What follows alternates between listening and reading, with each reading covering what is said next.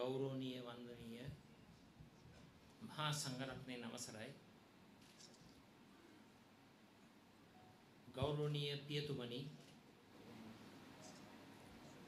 කුරුණෑගල ආසනයේ ප්‍රධාන සංවිධායක ගරු අමාත්‍ය මා හිතමිත්‍ර අශෝක් අබේසිංහ මැතිතුමනි ඒ වගේම එතුමත් සමග ජනාධිපතිවරණ අපේක්ෂකත්වය මාහට ලබා දීම සඳහා ලොකු කැපකිරීමක් කරපු අපේ ජේ.සී. අලවතුවල මැතිතුමා ඒ වගේම තුෂාර ඉන්දුනිල් මැතිතුමා ඒ වගේම අප හිතාදර අජිත් රෝහණ සංවිධායකතුමා එච්.එම්. ජයරත්න සම සංවිධායකතුමා ගුණසිංහ බණ්ඩා අපේ හිටපු മന്ത്രിතුමා පළාත් සභාවේ. മന്ത്രിවරු හිටපු മന്ത്രിවරු රැසක් සිටිනවා. ඒ වගේම විශාල වශයෙන් අපේ විපුල සහෝදරයා ප්‍රමුඛ තවත් ව්‍යාපාරික ප්‍රජාවකුත් සිටිනවා. ප්‍රාදේශීය සභාවේ නගර සභාවේ විපක්ෂ නායකතුමන්ලා ප්‍රමුඛ සියලුම නාගරික ප්‍රාදේශ සභා മന്ത്രിතුමන්ලා മന്ത്രിතුමියන්ලා අපේක්ෂකතුමන්ලා අපේක්ෂකතුමියන්ලා කුරුණෑගල මැතිවරණ කොට්ටාසේ කුරුණෑගල මාස් පොත යන කොට්ටාස දෙක නියෝජනය කරමින් සහභාගී වී සිටින දායම්බර හිතාදර සමාජික සමාජිකාවනි සහෝදර සහෝදරීනි මිත්‍රවරුනි. ආරම්භයේදීම මම සමාව ඉල්ලා සිටිනවා ජනාධිපතිවරණයේදී අපේ අශෝක් අබේසිංහ මැතිතුමාගේ නායකත්වයෙන් ඒ පවත්වපු මහා ජනරැලියට මට සහභාගී වන්නට බැරි වුණා. සියලු දෙනාම දන්නවා අන්ධකාරය වැඩි වීම නිසා අපට හෙලිකොප්ටරය පතිත කරන්නට ඉඩ ප්‍රස්තාව ලැබුණේ නැහැ. ලොකු උත්සාහයක් දරලා අපේ අශෝක් අබේසිංහ මැතිතුමාගේ නායකත්වයෙන් ඒ රැස්වීම පැවැත්තුවා. ඒ නිසාම අද මම කුරුණෑගලට පැමිණියා.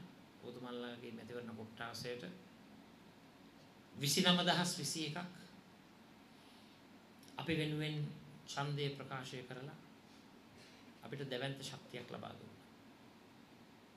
නිසා කුරුණෑගල මැතිවරණ කොට්ටාසේ ඡන්දය ලබා දුන්නු 29021ටත් ඒ වගේම සමස්ත ශ්‍රී ලංකාවේ අපි වෙනුවෙන් 55 ලක්ෂ 64239ක් අපට සහයෝගය ලබා දුන්නා.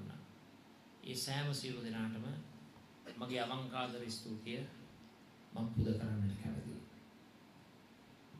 ඒ වගේම මම විශේෂ සඳහනක් කරන්නට ඕන මේ මැතිවරණ කොට්ටාසේ ප්‍රධාන සංවිධායකතුමා අශෝක් අබේසිංහ මැතිතුමා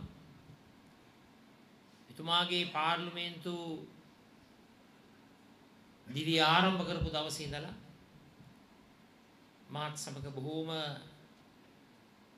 කිට්ටුවන්තව හිතයිශීව මගේ කලන මිතුරෙක් හැටියට හැම විටම සහයෝගය ලබා දුන්නා. ඇත්ත වශයෙන්ම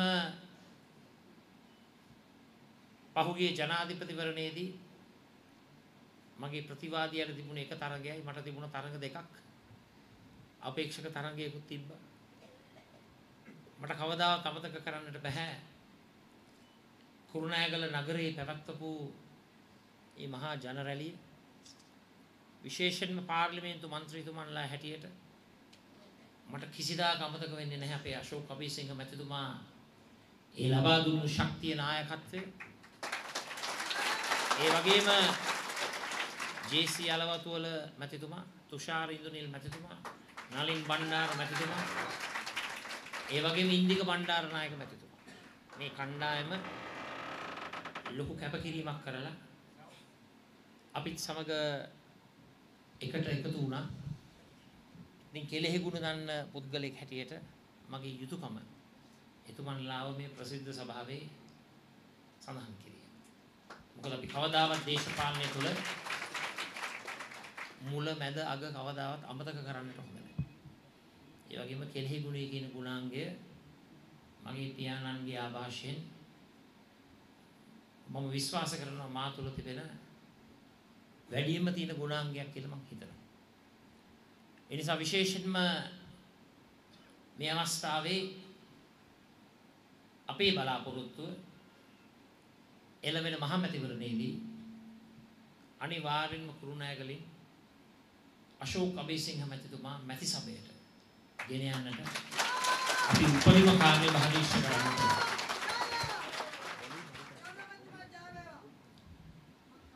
මිත්‍රවරුනි මැතිවරණ පසුබෑමකින් පසුව යලි සංවිධාන ශක්තිය ගොඩනගලා හොඳින් සංවිධාන කටයුතු ඉෂ්ට සිද්ධ කිරීම තුළින් අපිට අනිවාර්යෙන්ම පුළුවන්කම ලැබෙනවා මහමැතිවරණයේදී ඉහළ ජයක් ලබන්නට. අපි ශක්තිමත් වුණොත් අපි සංවිධානශීලීව හොඳ ගමනක් ක්‍රියාත්මක කරොත් අපේ ජයග්‍රහණය ලබා ගැනීම අපහසු කාරණාවක් නොවේ. ඒ නිසා අපි අදහස් කරගෙන තිබෙනවා පුළුල් සන්ධානයක් ගොඩනගලා ඒ පුළුල් සන්ධානය තුළින් අපි මහමැතිවරණයේදී හොඳ ප්‍රජාතන්ත්‍රවාදී තරගයක් ලබා දීලා අපි අනිවාර්යයෙන්ම ජයග්‍රහණය කරා යන්නට කටයුතු කරනවායි කියන එක මම මේ අවස්ථාවේ සඳහන් කරනවා. අපි සතුව තනතුරු මේනියාවක් නැහැ. තනතුරු නිසා ඒ වගේම වෙනත් වරදාන නිසා අපි පක්ෂය කැඩෙන්නට බෙදෙන්නට ඉඩ තබන්නේ නැහැ. ඒ මොකද මේ පසුබෑම තුළ මේ පරාජය තුළ අධික ලෙස දේශපාලන පරිගැනීම් ක්‍රියාත්මක වෙනවා. දසදහස් ගණනින් අසහනයට පීඩනයට පත් වෙලා. බොහෝ දෙනෙකුට රස්සා හිමි වෙලා. සමහරෙකුගේ වැඩ තහනම් කරලා. තවත් සමහරෙක් දුර බැහැර ප්‍රදේශවලට මාරු කරලා යනවා. හැම ආකාරයකින්ම ගන්න පුළුවන් පරිගැනීම් අද ක්‍රියාත්මක වෙනවා. ජනාධිපතිවරණයේදී ඉහළ කාර්යභාරයක් ඉෂ්ට කරපු චම්පික රණවක මැතිතුමාගෙනුත් අද පරිගන්න. අපේ යුතුයකම මිත්‍රවරුනි පරිගැනීමට ලක් වී සිටින සියලුම දෙනාට රැකවරණේ ආරක්ෂාව ලබා දීලා. ඒ සියලුම දෙනා වෙනුවෙන් පෙනී සිටිලා. අනිවාර්යෙන්ම අනාගතයේදී අපේ රජය බිහි වෙනකොට කිසිම කෙනෙක් කිසිම සැකයක් හිතේ තියාගන්නට අවශ්‍ය නැහැ. අපේ කාල වකවානුවේ අගභාගී නෙවෙයි. අපේ පළවෙනි රාජ්‍ය කටයුත්ත හැටියට පරිගැනීම් වලට ලක් වුණු සීල දෙනාටම අපි සහන දෙනවාමයි කියන එක මම මේ අවස්ථාවේ කියනවා. ඇත්ත වශයෙන්ම ඔය දේ කරන්නට තිබ්බේ උණු උණුවේ 2015 ජනවාරි 12 වෙනිදා කැබිනට් මණ්ඩලය දියුණු දුන්නයි පසුව. නමුත් මේ හැම දෙයකින්ම හැම ඌනතාවයකින්ම හැම අඩුපාඩුවකින්ම අපිට බොහොම වැදගත් පාඩම් ඉගෙන ගන්නට අවස්ථාව සැලසෙනවා. අපි පැහැදිලිවම ඔබතුමන්ලට ප්‍රකාශ කරන්න කැමතියි දේශපාලන පරිගැනීම් වලට ලක් වෙන සියලුම දෙනාට චක්‍රලේඛ රෙගුලාසි වලට යටත් වෙන්නේ නැතුව ඒ සියලුම දෙනාට සහන ලබා දෙන්නට අපි අනිවාර්යයෙන්ම මේ අවස්ථාවේ ප්‍රතිඥා දෙනවයි කියන එක මම මේ අවස්ථාවේ කියන්න කැමතියි. ඒ වගේම චම්පික රණවක මැතිතුමාගේ නිදහස වෙනුවෙන් අපි සටන් කරනවා පමණක් නොවේ ප්‍රජාතන්ත්‍රවාදීව නිත්‍යානුකූලව එතුමාගේ නිදහස වෙනුවෙන් අපිට ගත හැකි ඉහළම ක්‍රියාමාර්ගයන් ගන්නට අපි කටයුතු කරනවාමයි කියන එක මේ අවස්ථාවේ මම සඳහන් කරන්නට කැමතියි. ජයග්‍රාහී ගමනක් යන්නට නම් අපි අපේ හදවතේ තිබෙන හෘද සාක්ෂියට එකඟව ක්‍රියාත්මක වෙන අපේ ලේ නහරවල ඇට මිදුළු වල තිබෙන අපි හැම දෙනාගේම ඒ සැබෑ හැඟීම් ඒ සැබෑ විශ්වාසය ඒ සැබෑ දැක්ම අපි පක්ෂයේ ප්‍රතිපත්තිය කරගන්නට ඕන. හැමදාමත්ම මම කියපු දෙයක් තමයි අපි මේ රටේ ජනතාවගේ සැබෑ හදගැස්ම අපේ දර්ශනය තුළ අපේ වැඩපිළිවෙල තුළ තිබිය යුතුමයි. ඒ නිසා ඇත්ත වශයෙන්ම අපි නව දැක්මක් ගැන කතා කරාට ඒ නව දැක්ම අපේ පපුවේ තියෙනවා. අපේ හදවතේ තිබෙනවා. අපේ මුළු ਸਰවාංගයේම තිබෙනවා. අපි කිසිම සැකයක් නැතුව ඒ ප්‍රතිපත්ති රටේ වැඩපිළිවෙල රටේ දර්ශනය බවට පරිවර්තනය කරන්නට ඕන. ඒ නිසා නැවුම් ප්‍රතිපත්ති බාලාවක් තුළින් අපි මහමැතිවරණයට මුහුණ දෙන්නට ඕන. යල් පැන ගිය ජනතාව ප්‍රතික්ෂේප කරන ජනතාව එපයි කියන දේවල් පුන පුනාම ජනතාවට ඉදිරිපත් කිරීම තුළින් අපිට සිදුවන්නේ දේශන දේශපාලන පසුබෑම් වලට ලක්වීම පමණයි. ඒ නිසා නව මුහුණුවරකින් අපි මේ ගමන යන්නට ඕන. මගේ ප්‍රධානතම ප්‍රමුඛතාවය වන්නේ අපේ පාර්ලිමේන්තුවේ മന്ത്രി සංඛ්‍යාව වර්තමාන සංඛ්‍යාව රැක ගැනීමත් වර්ධනය කිරීම. ඒ රැක ගැනීමත් වර්ධනය කිරීමත් තුළ අනිවාර්යෙන්ම කුරුණෑගලින් අපි අශෝක අබේසිංහ මැතිතුමාව මැති සභයට ගෙන යනවාමයි කියන එක මේ අවස්ථාවේ කියන්නේ. ඒ වගේම මේ දිස්ත්‍රික්කයේ නියෝජනය කරන සියලුම සංවිධායකවරු ජයග්‍රහණය කරවීම උදෙසා മന്ത്രിතුමන්ලා මැති ඇමතිතුමන්ලා ජයග්‍රහණය කරවීම උදෙසා මහමැතිවරණ ව්‍යාපාරය තුල උපරිම කැපකිරීමක් කරන්නට මා අදහස් කරනවා.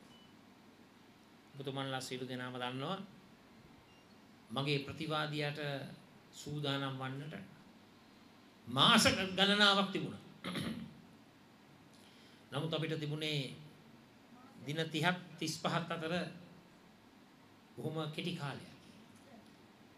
මං හිතන්නේ මේ වගේ අසාධාරණත්වයක් මට සිදු වුණත් අපි ඒක අපේ മന്ത്രി මණ්ඩලයටවත් අපේ ආසන සංවිධායකවරුන්ට කරන්නට හොඳ නැහැ. කට ළඟටම ඇවිල්ලා තීන්දුව తీරන ගැනීමේ ඵල විපාක අපි ජනාධිපතිවරණයේදී භුක්ති විඳිනවා. මහමැතිවරණයේදී එසේ සිදුවන්නට අපි ඉඩ තබන්නට හොඳ නැහැ. අපිට අත්පත් වෙන්නට තිබෙන ඉරණම දැන් අත්පත් වෙලා හමාරයි. අපි ඒ දේම අපේ മന്ത്രി මණ්ඩලයටත් සංවිධායක මණ්ඩලයටත් කරනවද නැද්ද කියන එක ගැන වගකිව යුත්තන් සියලු දෙනාම හොඳින් හිතන්නට ඕන. ඒ නිසා මිත්‍රවරුනි මම ලෑස්ති ඕනම වෙලාවක අපේ മന്ത്രി මණ්ඩලය ඒ වගේම අමාත්‍ය මණ්ඩලයේ සියලුම දෙනාත් ඒ වගේම අපේ සංවිධායකතුමන්ලා ඒ සෑම දෙනාම ජයග්‍රහණය කරවන්නට මගේ උපරිම කැපකිරීම කරන්නට මම ලෑස්තියි. මූල්‍ය පැත්තෙන් මට මහලුකු සහයෝගය ලබා දෙන්නට බැරි වුණා. මම මගේ මුළු ශරීරයම මගේ අදිෂ්ඨානය දුක් විඳලා මහන්සි වෙලා ජනාධිපතිවරණයටත් වැඩිය උනන්දුවෙන් අපි ලෑස්ති මහමැතිවරණ ව්‍යාපාරයේ ශක්තිමත්ව මෙහෙම.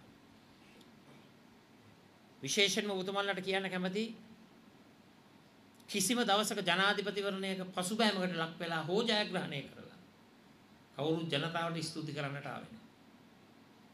විශේෂයෙන්ම ආසන ආසන මට්ටමින් ආවේ නැහැ. අද අපි දේ ඉෂ්ට සිද්ධ කරනවා.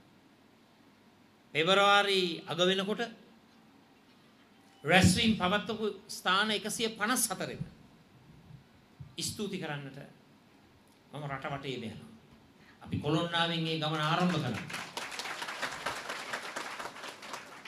අද සංඛ්‍යාත්මකව කිව්වොත් මේ පවත්වන්නේ 15 වෙනි ස්තුති රැස්වීම. නත්තල් නිවාඩු සමයේත් අපි ස්තුති රැස්වීම මාලාව කරගෙන යනවා.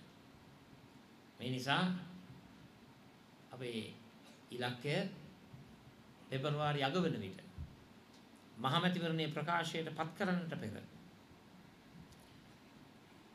ස්තුති රැස්වීම 154 අවසන් කරලා මේ මැතිවරණ කාලවකවානුව තුල අපිට කරන්න පුළුවන් උපරිම දායකත්වය බහමැති වන ජයග්‍රහණය වෙනුවෙන් මැති ඇමතිතුමන්ලාගේ මන්ත්‍රීතුමන්ලාගේ ජයග්‍රහණය විජයග්‍රහණය බවට පත් කරන්නට අපි අප කැප වෙනවා කියන එක මේ අවස්ථාවේදී කියන්න කැමතියි. දැන් මිත්‍රවරුනි 56 ලක්ෂයකට ආසන්න ප්‍රමාණය අපිට රටෙන්ම ශක්තිය ලබා නමුත් අපි පිළිගන්නට ඕන 69 ලක්ෂයක් අපේ ප්‍රතිවාදීන්ට සහයෝගය ලබා දුන්නා. වගකීම් යුතු විපක්ෂයක් හැටියට අපේ වගකීම තමයි ඉස්පිල්ලක් පාපිල්ලක් නෑර අර 69 ලක්ෂය දිනවපු ප්‍රතිපත්ති මාලාව ක්‍රියාත්මක කරන්නට අපේ සහයෝගයත් අපි ලබා දෙන්නට. දැන් 69 ලක්ෂයක් කිව්වා පාසල් දූ දරුවන් 43 ලක්ෂයකට නිලැඳුම් කට්ටලේ එපා. කට්ටල දෙකක් එපා. සපත්තු කුට්ටම එපයි කිව්වා. පාසල් දිවාහාරේ එපයි කිව්වා. මේ දෙන නිලැඳුම විතරක් දුන්නාම ඇති කියලා 69 ලක්ෂයක් කිව්වා. ආ එහෙමද? මම දන්නේ නැහැ. දැන් ඒකත් නැද්ද? මොනව කරන්නද ඉතින් 69 ලක්ෂයකගේ පැතුම? විශේෂයෙන්ම මිත්‍රවරුනි මේ අනාදී වශයෙන් අපි රටටත් ජනතාවටත් සිත සාලසන දැවැන්ත වැඩ පිළිවෙල යෝජනා කරා. නමුත් සත්‍යය මොකක්ද? 69 ලක්ෂයක් ප්‍රතික්ෂේප කරා. 69 ලක්ෂයක් කිව්වා අපි ඉදිරිපත් කරන දෙයට වැඩිය අපේ ප්‍රතිවාදියාගේ ප්‍රතිපත්ති මාලාව අපි පිළිගන්නවා.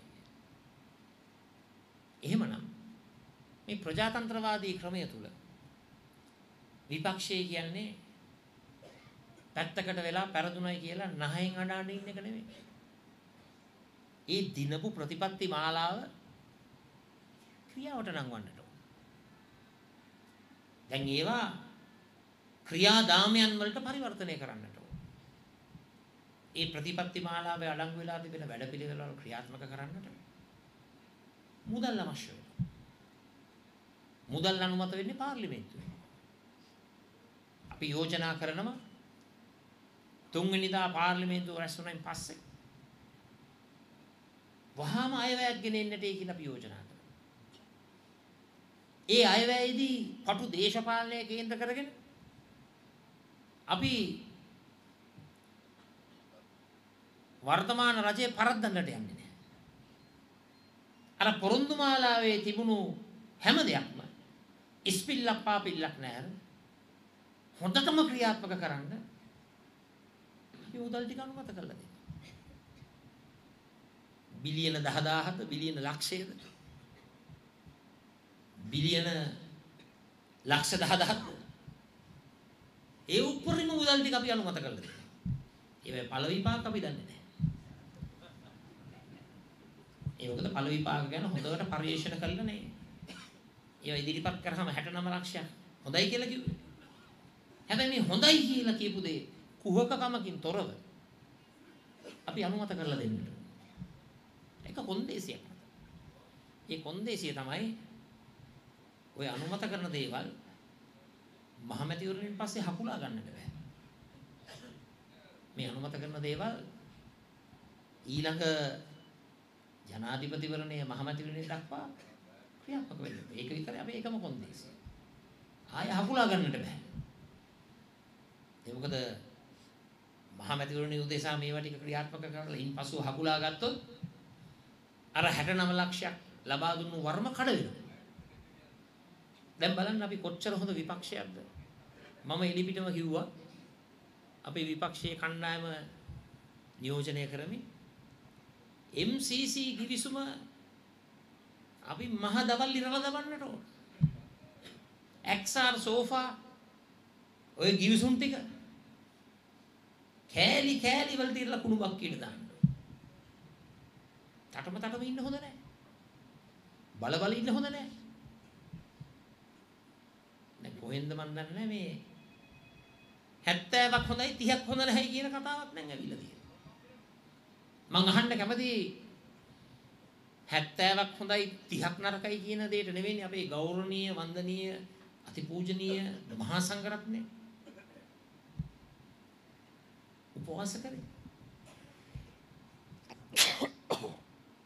සමාවෙන්. ඒ කාලේ 70ක් 30ක් ගැන කතා කරේ නෑ. අපිත් ඇත්ත වශයෙන්ම හදපත්ලෙම කලගාටු වුණා අපේ ගෞරවනීය වන්දනීය අතිපූජනීය මහා සංඝරත්නය. ඒ උපවාසය ක්‍රියාත්මක කරනකොට අපිත් අති ගැන්නුනා. එහෙමනම් ඒ ගෞරවනීය මහා සංඝරත්නය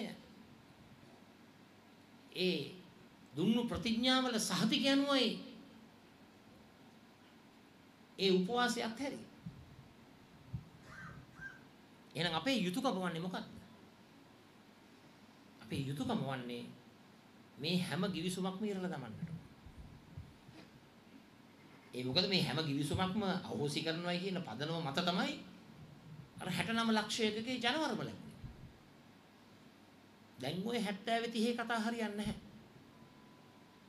දැන් අපිට අහන්නට ලැබුණා මේ ලැබෙන මුදල් වලින් 170ක් යන්නේ ප්‍රවාහන පද්ධතිය දියුණු කරන්න 130යි යන්නේ ඊළම් ප්‍රශ්නයට අර ප්‍රවාහන පද්ධතියේ 170 හොඳයි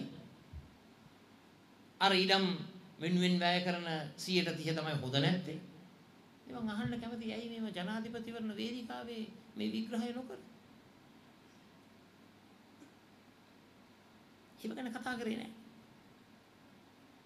අපිව හඳුන්වලා දුන්නා දේශද්‍රෝහීන් හැටියට.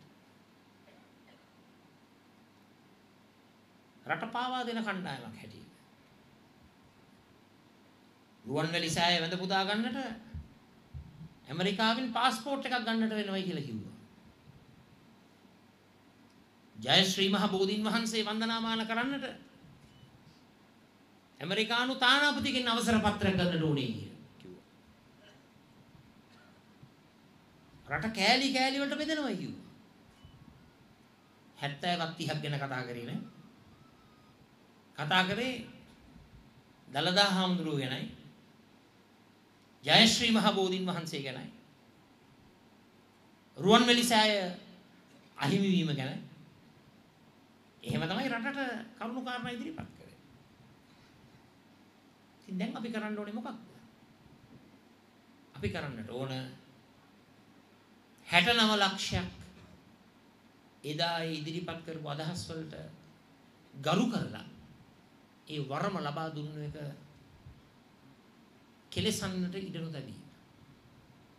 නිසා මම පැහැදිලිවම කියනවා සිංගප්පූරු ශ්‍රී ලංකා වෙළඳ කිවිසුමක් අපි කෑලි වලට ඉරලා දමන්නට ඕන. ඒ මොකද මේ හැම කිවිසුමක්ම අස්සම් කරේ රට පාවා දෙන්නනේ. රට විනාශ කරන්නනේ. රටට අයහපත් දේවල් නේ. ඉතින් මේ අයහපත් දේවල් සියල්ලක්ම අපි විනාශ කරන්නට ඕන. කරුණා කරලා මැතිවරණ කාලේ දේශද්‍රෝහීත්වය දේශප්‍රේමීත්වය ගැන කතා කරන්නට මැතිවරණයෙන් පසුව 70යි 30යි ගැන කතා කරන්නට ඒක සුදුසු නැහැ. ඒක ජනතාව රැවටීමක්. ජනතාවට කරන ලොකුම ලොකු වංචාවක්. අන්න ඒ ආකාරයට විපක්ෂයේ අපි වර්තමාන රජයේ ඒ ජයග්‍රාහී ප්‍රතිපත්ති මාලාව මහ පොළොවේ ක්‍රියාත්මක කිරීම සඳහා උපරිම සහයෝගය ලබා දෙනවා. දැන් මම හිතන්නේ අපේ ජනතාවටත් බොහොම සුබවාදීව ඇඟට පතට බඩට දැනෙන ආකාරයට වෙනස තේරෙනවා. අපි පත්‍රිකා නිර්මාණය කරලා ඒ සැබෑ දත්ත ලබා දුන්නා මෙන්න බලන්න 2015 අපි බාර ගන්නකොට තිබුණු බඩු මිලටත් වැඩිය 2019 වසර 4කට පසුව ජනාධිපතිවරණ සමයේ මෙන්න බඩු මිල 2015 වගකීම බාර ගන්නකොට ඒ වගේම පෙර රජයේ තියෙන කාලයට වැඩිය බඩු මිල අඩුවෙන් තිබ්බේ. රටේ ජනතාව කිව්වා ඕව හරියන්නේ රටේ ජනතාව කිව්වා තව පහළට බහින්න ඕනේ කියලා බඩු මිල. දැන් අද මොකද යථාර්ථය? අද යථාර්ථය තමයි අද යථාර්ථය තමයි පිටරට ජීවත් වෙන අපේ ශ්‍රී ලාංකීය ප්‍රජාවගේ දැන් හැමෝම ඉල්ලීමක් කරනවා කරුණා කරලා ඔබලාගේ ඩොලර් ටික අපේ රටට වණ්ඩේ කියලා. ඒකට විරුද්ධව මම කතා කරන්නේ මොකද මමත් සත්‍ය වශයෙන්ම අපේ රටට ආදරය කරන පුද්ගලයෙක්. හැබැයි මගේ ළඟ ප්‍රෝඩාකාරී දේශප්‍රේමීත්වයක් නැහැ. මම විශ්වාස කරනවා අපි විශ්වාස කරනවා අපේ එකම ගමේ එකම රටේ එකම සංස්කෘතිය සભ્યත්වයේ රැකගෙන සිංහල බෞද්ධකම රැකගෙන තමයි අපි සිසු ජාතීනුත් සිසු ආගමුත් ආරක්ෂා කරගෙන මේ ගමන යන්නට ඕන. ඒ තමයි සිදුවිය යුතුව තිබුණේ. නමුත් මේ රටේ බොහෝ දෙනෙකුට අමතක වුණා රණසිංහ ප්‍රේමදාස ආයවර මගේ පියාණන් බුද්ධ ශාසන අමාත්‍යංශය ආරම්භ කරපු. බුද්ධ ශාසන අරමුදල ආරම්භ කරපු එක ඒ ඔක්කොම අමතක වුණා. 69 ලක්ෂයකට ඒව අමතක වුණා. චෛත්‍ය රාජානන් වහන්සේලා දහසක් 1125ක් වසර 4ක් තුල ඉදිකිරීමේ වැඩසටහන ප්‍රතික්ෂේප කරා.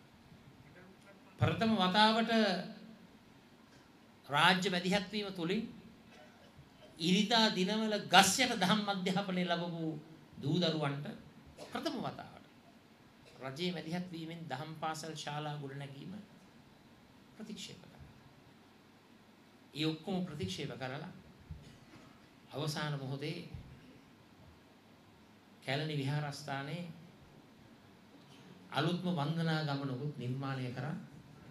මම ආරාධනා කරනවා අපේ ආදරණීය ගුරුනායක ලාසනයේ ජනතාවට මේ මැතිවරණ සමයේ ඒ දුන්නු ඒ ප්‍රවෘත්තියට අනුකූලව ඒ වන්දනාමාන ගමනුත් මේ අවස්ථාවේ අලුත් අවුරුද්ද බිහි වෙන්න ඉස්සෙල් එකක් කරන්න.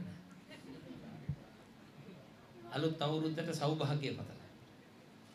මිත්‍රවරුනි අවසානයේ මට කියන්න තියෙන්නේ මොන විහිළුවක්ද මේ කරේ? මොන විහිළුවක්ද කරේ? ජනතාව රැවටුණා නේද? රැවටෙන්න තරම් අපිට මේ කරුණු අවබෝධ කරගන්නට බැරි වුණා. නමුත් වික්තකරුණේ කවදා හරි සත්‍ය ජයග්‍රහණය කරනවා.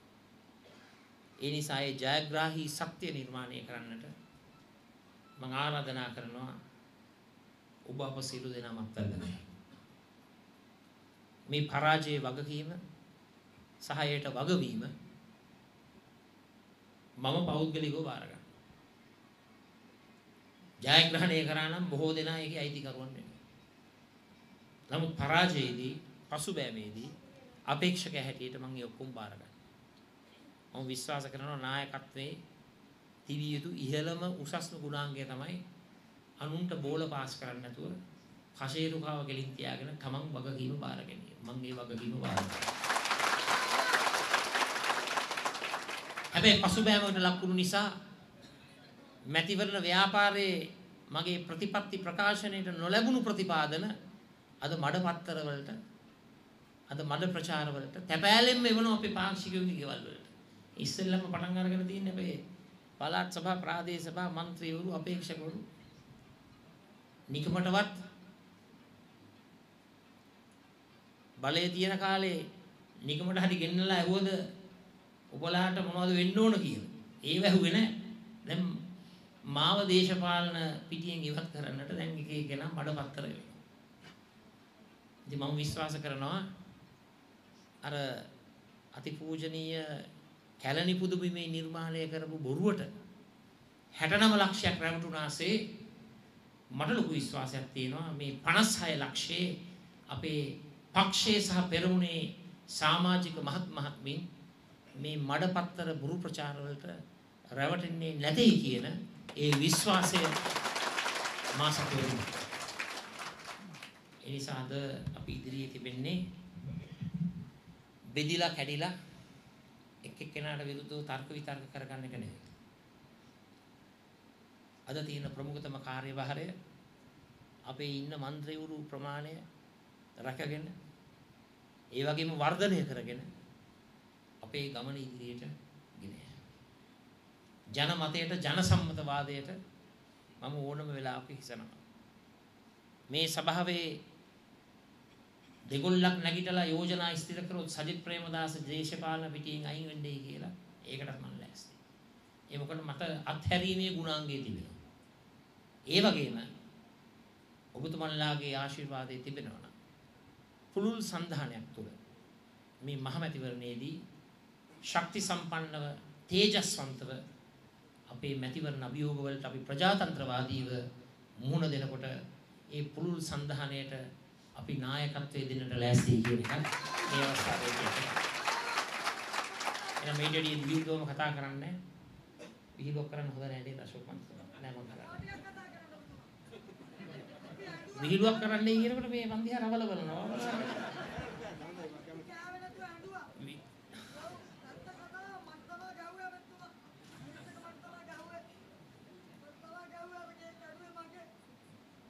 අනිවාර්යෙන්ම මේ විපතටපත් වුණු ඒ පවුල වෙනුවෙන් ඒ පමණක් නෙවෙයි හානියටපත් වුණු සියලුම දෙනාට අපි අපේ රජයක් තුල අපි අනිවාර්ය වියුතුමන් ඉෂ්ට කරනවා. ඒ වගේම නැවත නැවතත් අශෝක් අබේසිංහ මැතිතුමා අනිවාර්යෙන්ම කුරුණෑගලින් මැති සභයට ගෙන යන ගමනට මමත් දායක වෙනවා ඉහළින්ම.